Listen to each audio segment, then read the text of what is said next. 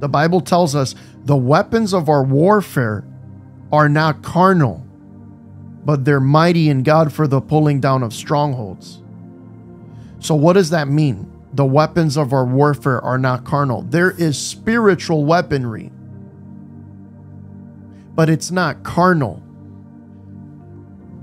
When we look at the armor of God, we think of Roman soldier, we think of a physical soldier. But Paul tells us that we don't fight like this world. So, why do we apply the Roman soldier to Ephesians 6 when Paul tells us that we fight not of this world or like this world? And so, what we end up happen, what ends up happening is we start because we have a wrong understanding of the scripture, we start developing this unnecessary militancy and we're always having this mindset of fighting all the time, when in reality, it has nothing to do with the fight that you perceive it to be. Mm. It's good. Let, let me let me explain something. Look up the word kiss. I've said this many times. The word kiss in Song of Solomon chapter 2. It's the Hebrew word and it means to fasten the lips like a kiss. So, but it also means, and you can look it up, it means to arm with weaponry. That's what that word kiss means. It means to arm with weaponry. It's in, it's actually found in Song of Solomon, chapter two, where it says where the where the lover is talking to the bridegroom, and she says, "Oh Lord, kiss me with the kisses of your mouth." And that word "kiss" means it, it means a kiss. It means an act of romance and love, but it also means to arm and fasten with weaponry. Those who kiss the Lord and the Lord kisses them are armed with spiritual weaponry. Because the fight is not like this world. The violence that speaks of the kingdom is a is a is a love uh, uh, uh, of of the pre, a love of God. It's for lovers. The Bible says in the in the book of Revelation, in the last half, the body of Christ is addressed not as fighters, but as kings and priests to their God and a bride. I, I saw I saw this video that I can compare that to was uh there was this guy outside preaching, right? Right. And uh there was a lot of people being hostile towards him, Yep. you know. And I don't know if or a guy, but like somebody threw a drink right in his face, Right. you know, and without like a a flinch or a, you know or anything, Mm-hmm. he just proceeded, you know, and that did more. The fact that he just breezed by that and did more, it it did more than any physical altercation could have, Right. you know, and you physically saw it in the crowd where it's like, wait, why didn't he react that way? Why is he still preaching love after a drink got thrown right in his face? You know, so the reaction of the action of loving did more than a violent act. Oh, so I yeah. can totally see where yeah. where that how that works. You, you even kind of see it during the civil rights, like during Dr. Martin Luther King, right? People were throwing stuff at them, they were beating them up, and they just blessed in return. Where does that come from? Scripture. Because we don't fight like this world. Immediately that disarmed the enemy. Yeah, or like the the scripture you said where they sent the, the women and children first. That's exactly where we're gonna go. That's like now. Now here's the reality. The reality is, the Bible says, "Bless those who curse you." That's what that man did. The act of blessing is actually a priestly function. The priests in the Old Testament, they were responsible for um, the worship of the presence of God, the sacrifices to the Lord, and blessing the people. And so when people insult you and, and say all these crazy stuff, the response now is that we as believers bless. Why? Because we're not like this world. We are to function as a priest. So, um, I want to talk to you about the armor of God today. Okay? And I just want to I just want to say something. The armor of God has nothing to do with the Roman soldier. When we think of the armor of God, we think of a Roman soldier with a helmet, with a bunch of like chainmail breastplate, with a big shield, with a big giant sword, and and a bunch of like sandals and a big belt. That's exactly what we think of. But the problem with that is there's major problems with that. Excuse me, guys. Give me one second. We've been having funny weather, so we're all like all coughing and stuff. But the problem with that is that it cannot be talking about that. And here's why because Paul is actually quoting Isaiah 59. Let's let's go there. Um, I want to show you something. Let me see if this pulls up. And I will have a a separate upload for this teaching um, at the right time. But I want you to see something. I'm going to turn to Isaiah 59. I want to show you this. Isaiah, Isaiah 59. Look at this. This is powerful. We're talking about the armor of God. Okay? Let me see if I can kind of watch this.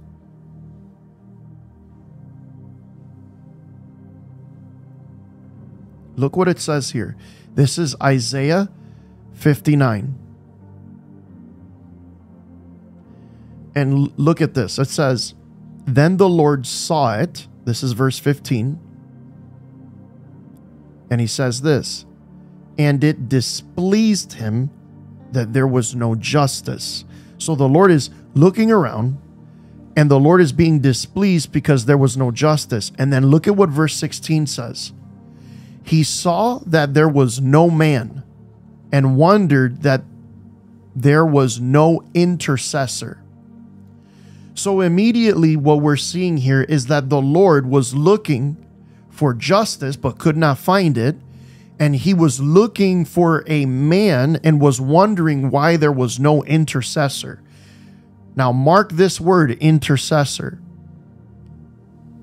And then I want you to see this right here. And it says as follows Therefore, his own arm, which is the Messiah, which is Jesus, therefore, his own arm brought salvation for him, and his own righteousness sustained him. Now, look what it says here. He put on righteousness as a breastplate hmm. and a helmet of salvation on his head. This was written way before the Romans, way before the Romans even were there. So we're seeing some key words here. Verse 16, intercessor. Yeah. We're seeing the word, therefore, his own arm brought salvation for him, the Lord's arm. The word salvation is the Hebrew word Yeshua. He, this is speaking of Jesus, and his own righteousness sustained him. And he put on righteousness as a breastplate. Does that sound familiar? That's in Ephesians chapter 6. Put on the full armor of God that you may be able to stand against the wiles of the enemy. For we wrestle not against flesh and blood, but against principalities and powers. Then he talks about having on the breastplate of righteousness. But it has to do with intercession.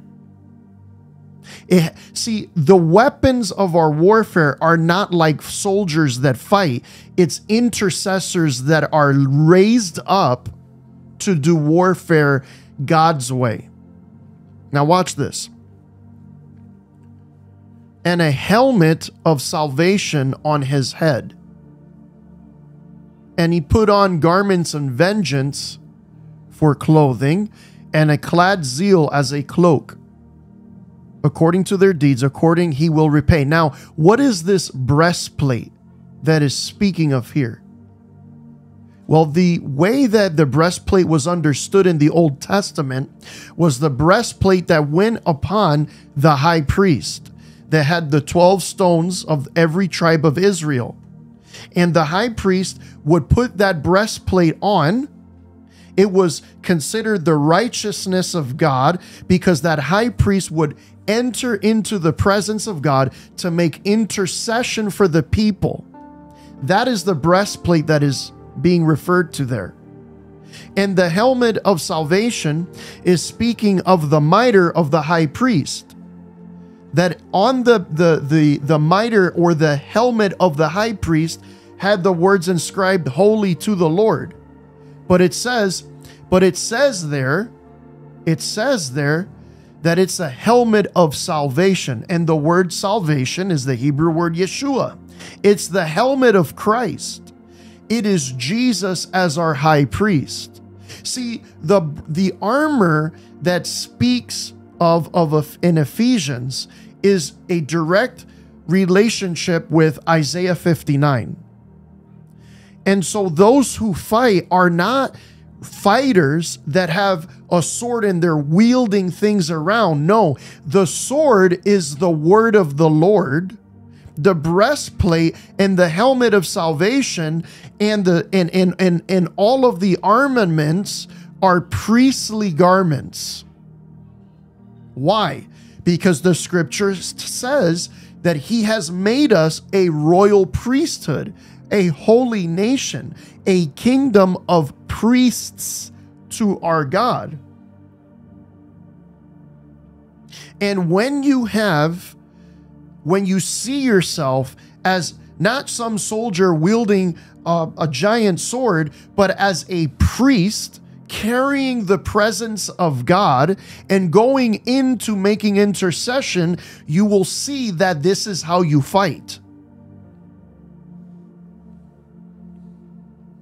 I want you to see something else here. The priest in the Old Testament wasn't just someone that was just locked up in the temple.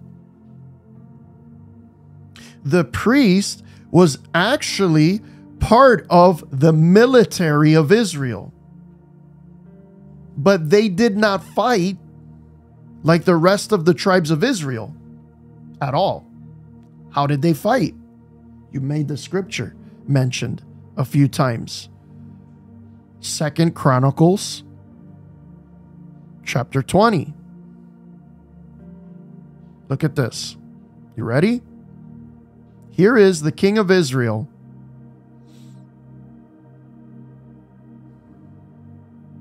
He says this. I'll just read the whole thing.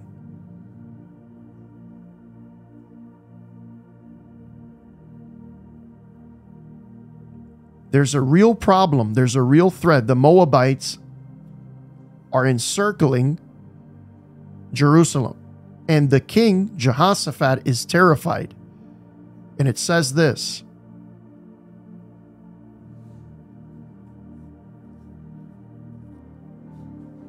It says this O our God, will you not judge them?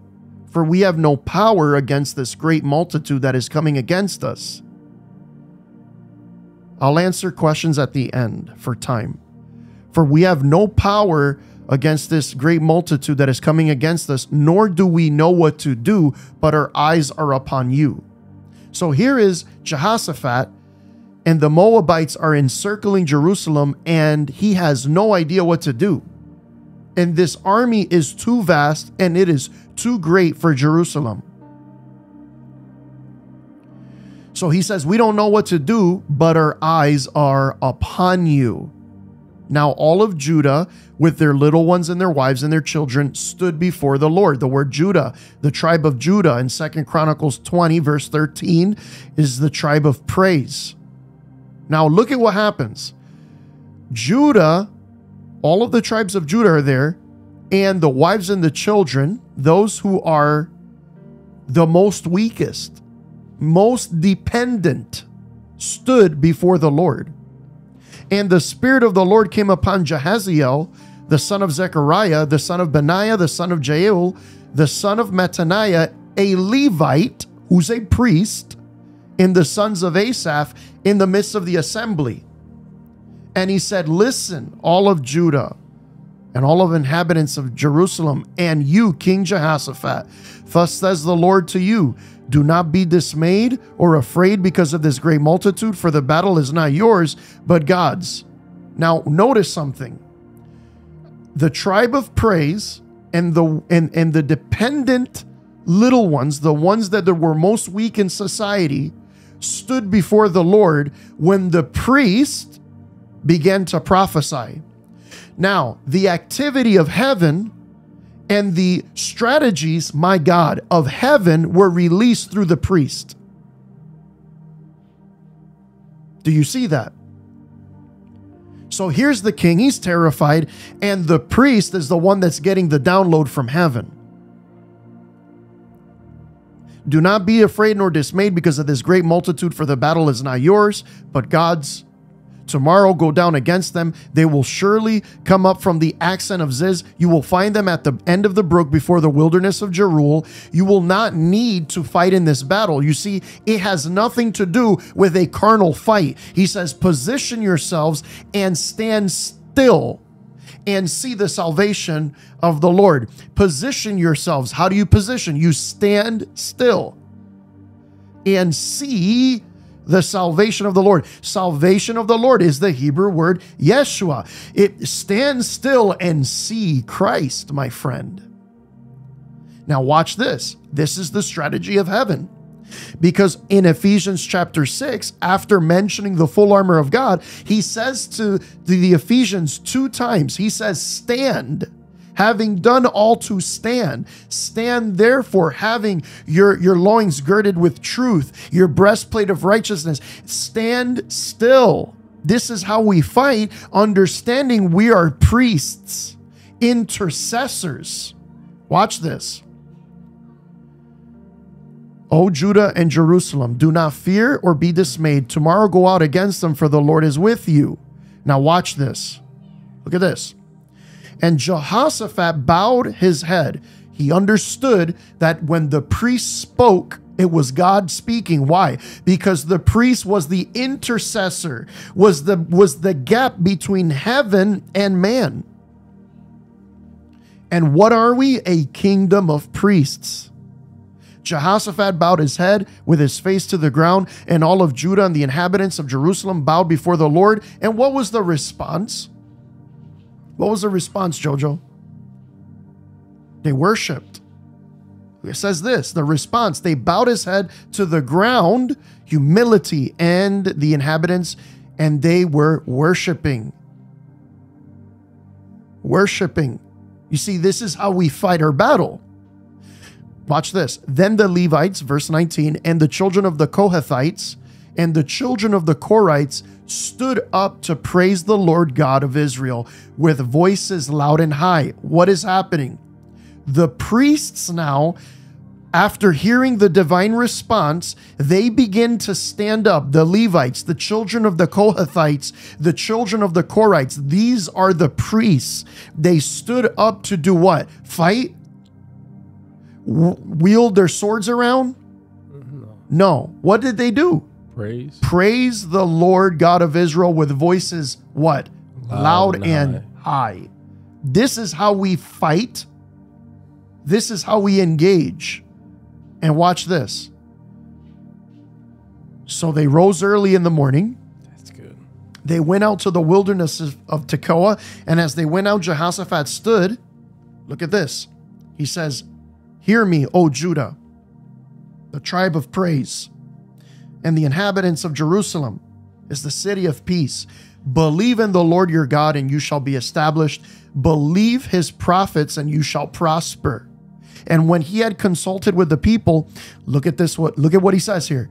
He, the king, appointed those who should sing to the Lord and who should sing praise to what? The beauty of holiness as they went out before the army and were saying, Praise the Lord, for his mercy endures forever.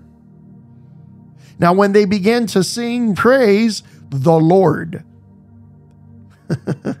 sent ambushes against the people of Ammon, Moab, and Mount Seir, who had come against Judah, and they were defeated. How they how were they defeated? They were still. They began to praise the Lord. King Jehoshaphat had discernment and wisdom to understand that we're not fighting a regular battle here. So I'm going to take the priests and they're going to go before the armies and they're going to sing praises and what what are they going to do? They're going to praise the beauty of the lord. Look praise the beauty of his holiness and as they went out before the army saying praise the lord his mercy endures forever and when they began to sing praises the ambushes were now given from the presence of god and the enemy was destroyed this is how you fight your battles. This is how we are to engage. We're not a bunch of Roman soldiers slinging little gladiuses around. We are a nation that is wholly devoted unto the Lord, a culture of priests.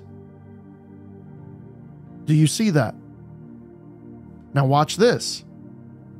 Let's eh, can we find more of this type of warfare? Yes, emphatically yes.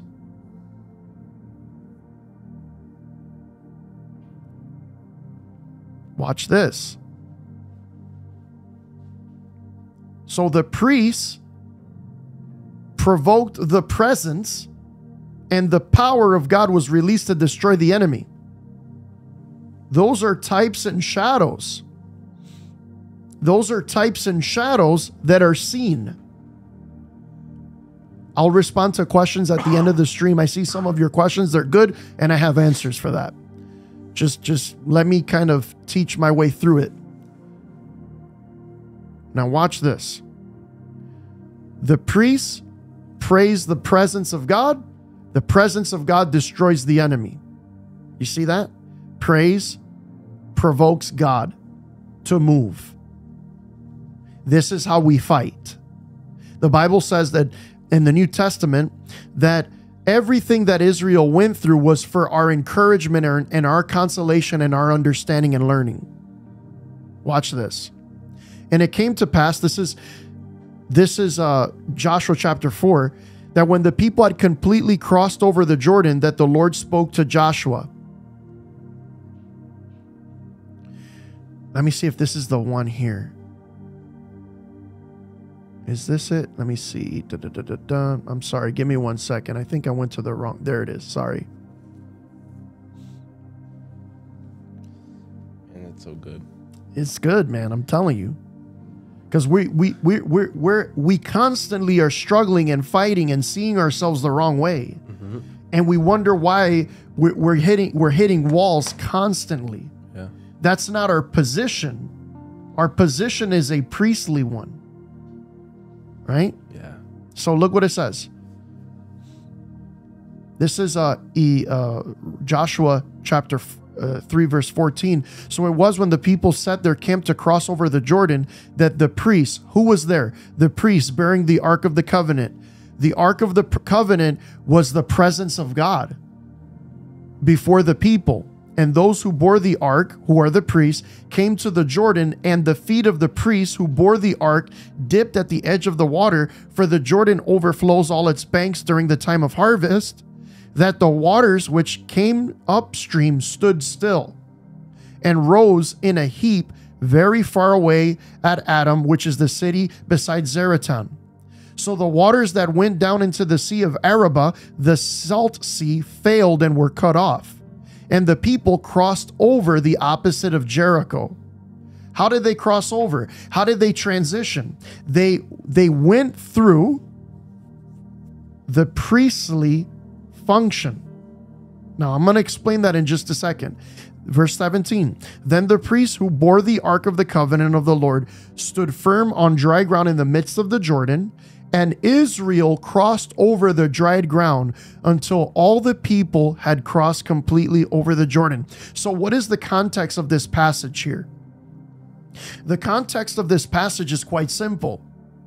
Joshua becomes the new commander of Israel after uh, his uh, his predecessor Moses, the man of God, the servant of the Lord, dies. And then the Bible says to go to the acacia grove. You're about to cross the Jordan. The, the, the word of the Lord spoke to Joshua, which by the way is is the is the Hebrew word Yehoshua. This is Christological. It speaks of Christ. Jesus is the captain of our salvation. Joshua was the captain of the of, of, of, of, of the people of Israel. Now watch this. The scriptures say that the Lord spoke to Joshua and he says, Listen, go into the Jordan. There's a big bank there. Tons of water is being rushed everywhere. How can we cross over this? And God says, Take the priests who bear the presence of God and have them stand at the edge of the banks. And when they did that, the rivers and the and the Jordan ceased and they walked on dry land. What does that show you about the things of God? That openings, transitions, guidance all come all came through the priests first. And that shows us a kingdom dynamic, a kingdom reality. That when you take your place as an intercessor, when you put on your priestly garments, so to speak, when you understand that you are a priest before the Lord, you will make a way where there is no way. And it's not because of you, but it's because of God's functioning within you. When you take your place to understand your position and your identity as a son, a child of God, but a priest, you praise your way through the transitions. You fight in a different light. The weapons of our warfare are not carnal. Watch this. Here's another one for us to consider in the book of Joshua. If this is blessing you, please give it a thumbs up. I will respond to questions at the end. There's a lot of things I want to cover real quickly. Let me see if it's Mine is just getting blown. I'm soaking it all in. good. I want you to. Man. Watch this. Let me see if I can find it here.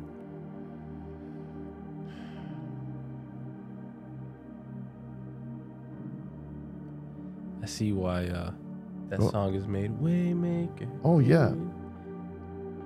Man. He makes a way He makes a way, but how? Through through praise. praise and worship. Why? Because we're his priests. And what God does when he releases the activity of the earth, he does so through praise. Why? Because God inhabits the praises of his people.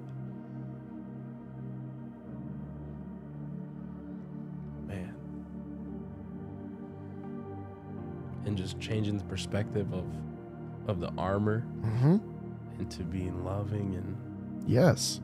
That give that gives a whole different perspective on my testimony that I had when I felt the armor being put on me.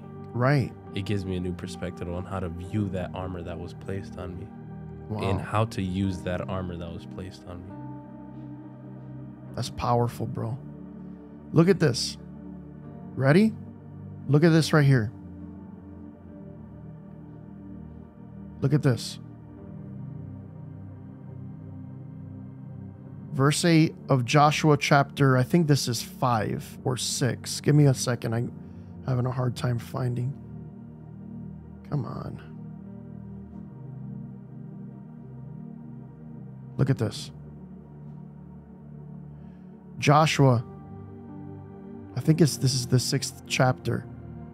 Then Joshua the son of Nun called the priests and said to them, Take up the ark of the covenant, and let seven priests bear the seven trumpets of ram's horns before the ark of the Lord.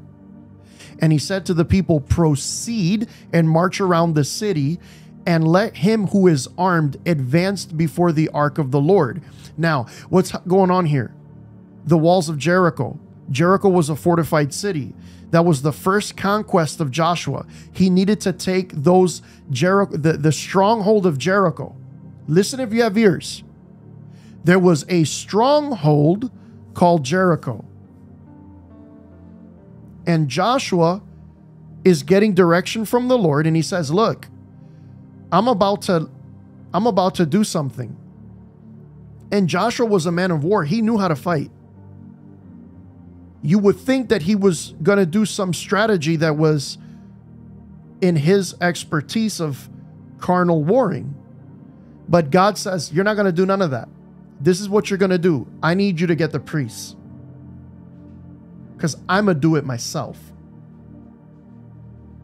So look at this. It says, then, then it says, verse 7 And he said to the people, Proceed and march around the city, and let him who is armed advance before the ark of the Lord. So it was when Joshua had spoken to the people that seven priests bearing the seven trumpet rams horns uh, before the Lord in advance blew the trumpet, and the ark of the covenant of the Lord followed them. The armed men went before the priests who blew the trumpets, and the rear guard after the ark. While the priests continued blowing the trumpets, now Joshua had commanded the people, saying, You shall not shout or make any noise with your voice, nor shall a word proceed out of your mouth until the day I say to you, Shout. He tells them, Be quiet, don't say a word. How many times when we're in prayer, God says to us, Be quiet, don't say a word? And it says right here, so he had the ark of the Lord circle the city, going around it once. Then he, they came to the camp then lodged in the camp. And Joshua rose early in the morning. And who? The priests took the ark of the Lord. Then the seven priests bearing the seven trumpet rams' horns before the Lord God went on continually and blew the trumpets. And the armed men went before them. But the rear guard came after the ark of the Lord while the priests continued blowing the trumpets. And the second day they marched around the city once and returned to the camp. They did this for six days.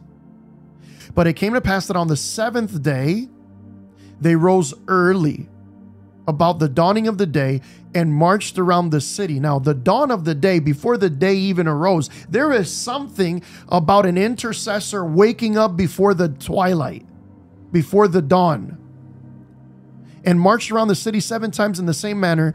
On the same day, they marched around the city seven times. And on the seventh time it happened that when the priests blew the trumpets, that Joshua said to the people, Now shout, shout, for the Lord has given you the city. Wait a minute, it, it didn't even happen yet. So they're seeing the city. He says, Guys, shut your mouths, don't say a word. Then he says, Priests, I want you to go around the city, praise, blow the trumpet. Do it seven seven times. And then he says this in the dawning before the day broke. And then on the seventh day, he says, Shout, the Lord has already given you the city. That shows you something about spiritual warfare. You don't need to see it with your eyes.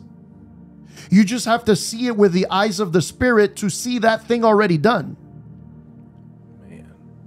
And so your response now is now to praise the Lord that has already been accomplished. For the weapons of our warfare are not carnal. We don't fight like the world fights. We are not to be led by what we're seeing or what we're feeling from the outside. We're to tune our ear to heaven and believe what the Lord has already accomplished and hallelujah our way through the promised land. They took a victory lap before, before they even saw it. Before they even. Now watch. Now look this. Shout for the Lord has given you the city. Verse 17. Now the city shall be doomed by the Lord's destruction, and it sh- and it and all who are in it. Only Rahab the harlot shall live, and she who are with her in the house, because she hid the messengers that went. And you, by all means, abstain from the accursed things, lest you become accursed when you take the accursed things and make the camp of Israel a curse and trouble it. He says, Don't even touch the things of this world. You don't want the curse on you. That's a call to holiness right there. And make the camp of Israel a curse and trouble it. But all the silver and gold and the vessels of bronze and iron are consecrated to the Lord, and they shall come to the treasury of the Lord. Now, watch this. Now, why would he say that? Everything that was bronze, everything that was golden, everything that was silver that belonged to the Jerichos, the, the people at Jericho, now became an object of veneration to the Lord. Look what it says here. So when the people shouted, when the priests blew the trumpets, and it happened that when the people heard the sound of the trumpet, the people shouted with a great shout that the what fell down? The wall fell down. Then the people went up to the city, every man straight before him, and they took the city. Why? Because when you listen to the word of the Lord, when you listen to what God is saying, when you do, when you fight the warfare God's way, and you see yourself not as a fighter, but as a lover of the presence of God, as a minister, as a priest to the presence, you will see the victory that's already there. Now, let's go back to Ephesians 6. I want you to see something because I'm about to break down the armor. Now, watch this. Are you getting something? I hope you are. This is Ephesians chapter 6 verse 10. Finally, my brethren, be strong in the Lord and in the power of his might. Now let's just stop there. Be strong in the Lord. Be strong in yourself? Be strong in your armor? No, be strong in the Lord. That what does it mean to be in the Lord? Position yourself in him.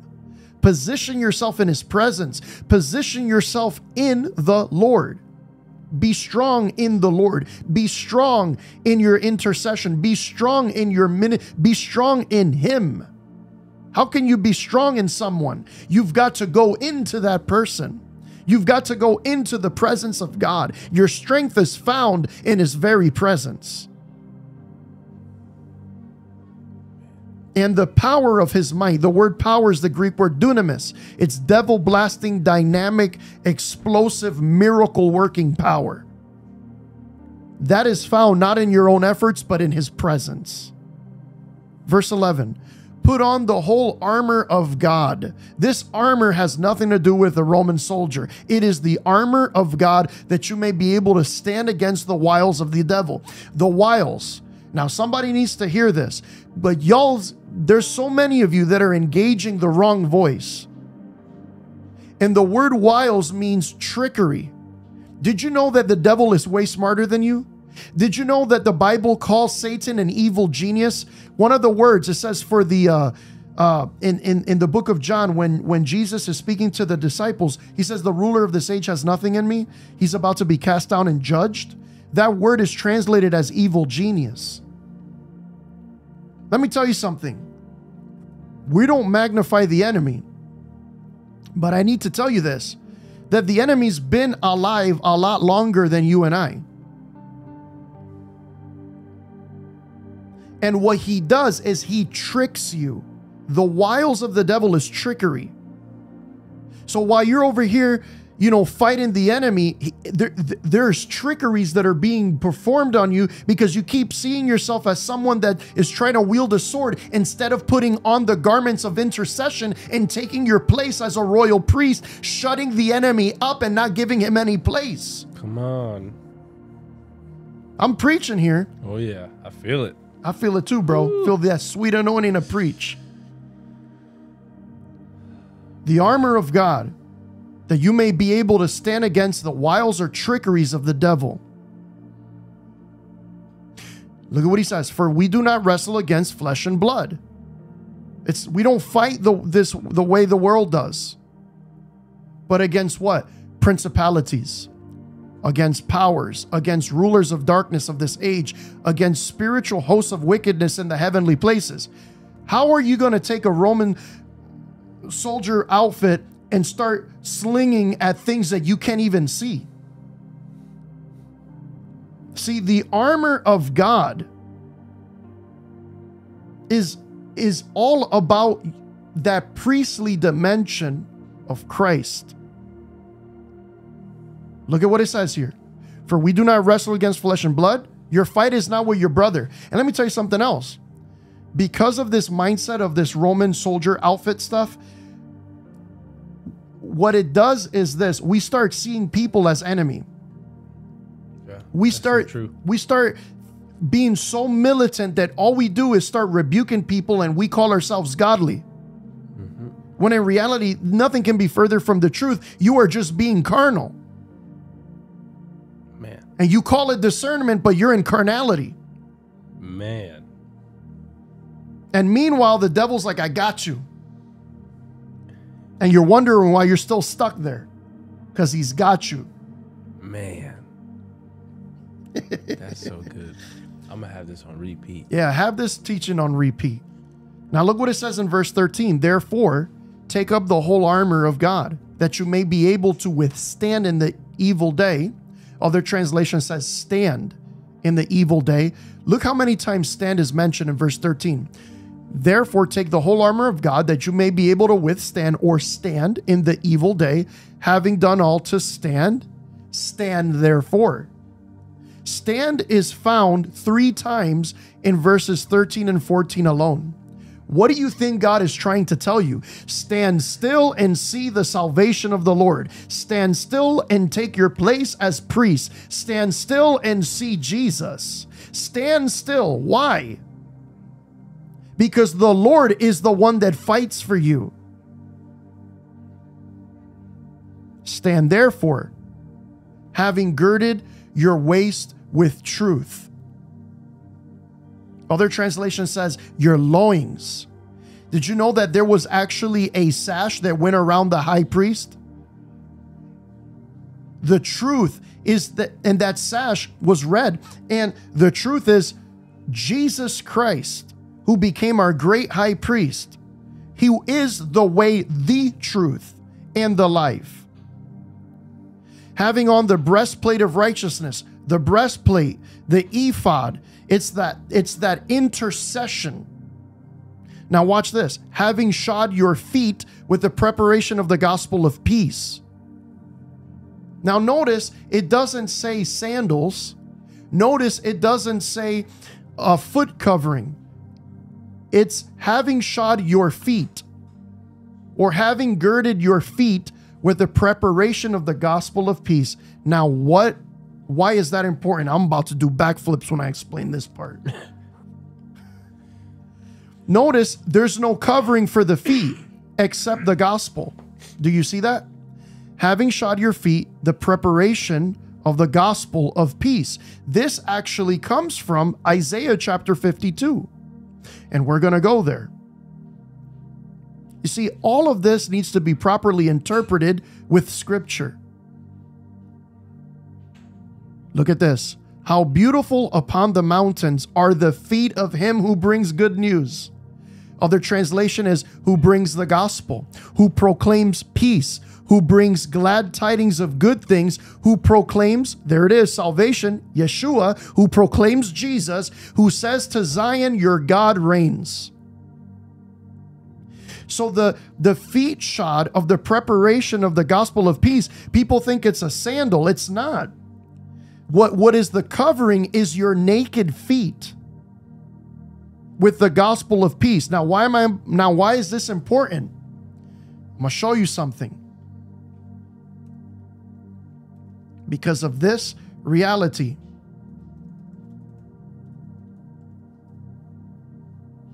Let me find the exact scripture.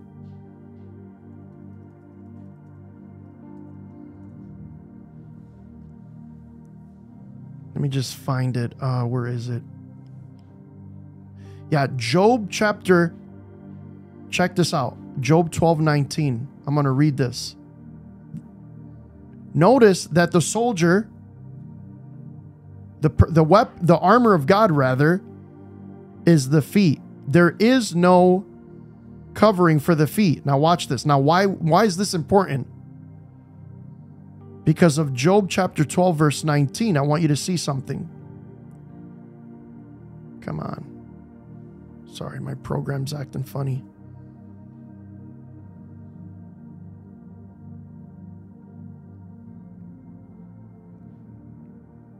Where is it? Give me one second, guys. I'm sorry. Job 12 19. It should be this. Okay, we're at Job 12 19. Yeah, this is a different translation. Why is this? Interesting. It says it says it differently there. Give me one second here. Come on.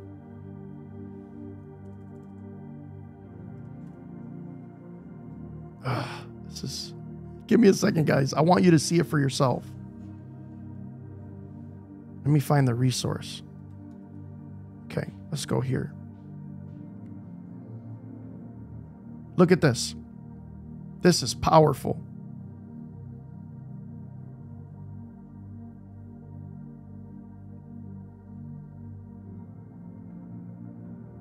Job chapter 12, verse 15 Behold, he, the Lord, restrained the waters, and they dry up. And he sends them out, and they inundate the earth. With him are strength and sound wisdom. The misled and the misleader belong to him. He makes the counselors walk barefoot. He makes the fools of judges. He loosens the bonds of kings and binds their loins with a girdle. He makes priests walk barefoot and overthrows the secure ones. Now why is that now why is that there?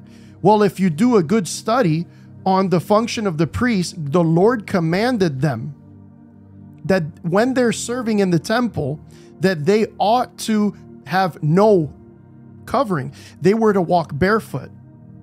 That was actually part of the when the priests went into the temple to minister to the Lord, they could not have any shoes on. Why? Because of Exodus, where it says, where God, what does God tell Moses? He says, Take your shoes off, for the place which you stand is holy ground. He says, he says again to Joshua, Take the sandals off your feet, for the place which you stand is holy. So, what we see here specifically in the book of Ephesians, let's just go there, chapter 6.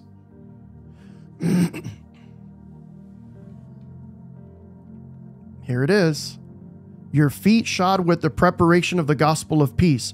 Now, why is that important? Well, number one, the gospel of peace is the gospel, but our feet are naked, which implies we ought to we ought to bring the gospel from Isaiah 52. How beautiful upon the mountains are they that preach the the feet of them that preach the gospel.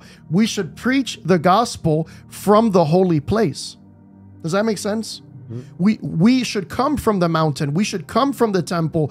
We should be barefoot when announcing the good news. We come straight from the presence of God, which is a priestly function. And then it says this, above all, take up the shield of faith, which you are able to extinguish all the flaming darts of the evil one. What is the shield? Well, the shield is right here. Let me give you an example.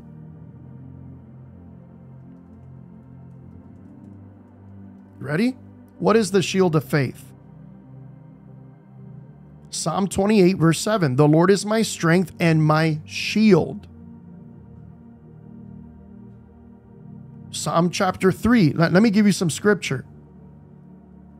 Come on.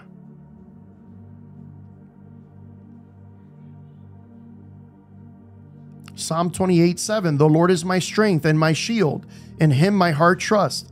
I am helped. I am helped. My heart exalts. With the song I give thanks to him. The, the shield, Psalm 3, verses 1 through 4. Lord, how many adversaries have increased? Many are those who rise against me. Many are those who say of my soul, There is no help. Give me one second. I'm not reading from uh, I'm reading from um, it says this Psalm 3, verse 1 and 4. The Lord, you, Lord, are a shield around me, my glory, the one who lifts up my head. To you I cried with a loud voice, and he answered me out of his holy hill. Psalm 28, verses 2 and 7. Verse 7 says, The Lord is my strength and my shield. In him my heart trusts. Psalm chapter 33, verse 20. Our soul waits for the Lord. He is our help and our shield. Psalm 84, verse 9 Behold our shield, O God. Look upon the face of your anointed. You see, the shield is the Lord Himself. And now, why would it say, take the shield of faith? Ah, sorry, my program's. Why would it say, take the shield of faith, which is able to extinguish all the fiery darts of the enemy? Because without faith it is impossible to please God for they that believe in him must for they that go to him must believe that he is. And he's a rewarder of those who diligently seek him. The shield of faith is the Lord himself that you have faith in. Why? And you will be able to extinguish all the flaming arrows of the evil one. And then look take the helmet of salvation that goes back to Isaiah 59 17. That he was given a helmet of salvation and a breastplate of righteousness and the sword of the Spirit, which is not this, it's the word of God.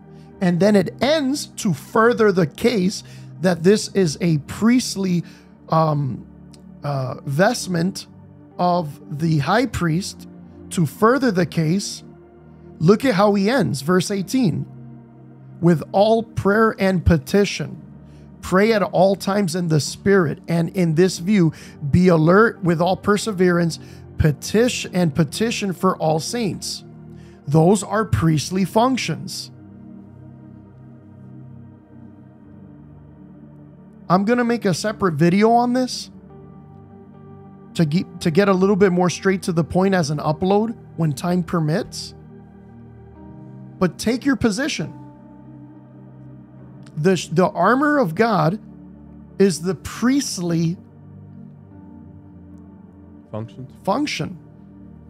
That's so good, man. That changed my whole view on a lot of stuff. Oh yeah. I just look I just look forward and in the future to have that perspective to work through stuff. Oh yeah. And you can have it now. You just have to spend time, Yeah. you know? This is this is how we engage in warfare. It's not through the militancy of the world, but in the priestly kingdom dynamic of the spirit.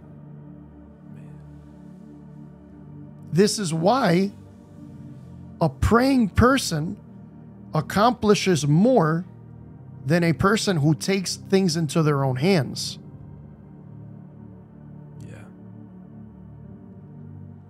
And it goes back full circle. Notice in the beginning of the stream, a lot of striving, a lot of distractions. The moment we started loving and magnifying the beauty of His holiness, He undid all of the striving for us. Yeah. Simple. The belt of truth was already mentioned. It's the it's it's the girdle that went on the high priest. But um yeah, I'll give more and more details. I know this was just a quick synopsis of what I wanted to say. But um I'll do a separate upload whenever I get a chance to really break it down with like verses and chapters and good imagery. And if you want to know more about this, this is not a new idea. This is very scriptural. There's a brother named Mark Blitz. He's a Jewish uh, teacher, powerful, anointed man of God, and he talks about this extensively. And so at first, when I heard him say that, I'm like, this makes no sense. But when he started breaking it down, I was like, my Lord, That's how I am right now. I'm getting blown away. Man, that's how I am right now. This is why when you are still and when you know your place and you praise your way through and you worship and you spend time with God, you accomplish more than thousands of efforts. Why? Because it's your call. it's kind of like this it's like a water faucet, right? And there's a pipe, okay? And the pipe is not aligned under the faucet. But once you get on that pipe aligned under the faucet, there's a flow. Yeah. And so what ends up happening is that we start we start operating under a different carnal perspective of, of, of this stuff. But once we understand that our place is the presence of God, that we are a royal priesthood, we're a holy nation, we are meant to be ministers of his presence and be ministers of reconciliation to the world. There's the flow. Yeah. Prayer, prayerless people push. Prayerful people flow. Mm. Prayerless people push to make something happen. It's good. Prayerful people simply yield and flow. Why? Because out of the presence of God, out of the secret place, out of your intercessions and out of out of your fellowship with Jesus, there is a flow. Yeah. Okay? All right, well, this brother is done. It is now that time. If you can, please like the stream, share, subscribe to the channel if you haven't had a chance. Visit our website at fathersglory.org. Consider partnering with the ministry, visiting us. Uh, to donate, to part to partner with us, text the text the word glory to the number 801 801. All proceeds uh, goes directly to the ministry of Father's Glory, and it helps us create more content, become an effective media ministry, preach the gospel throughout the world, and also help support churches in Central and South America. Okay? God bless you. We love you, and we will see you tomorrow in Jesus' name. Also, also, check out our YouTube short that just came out. Blessings. God bless. Amen.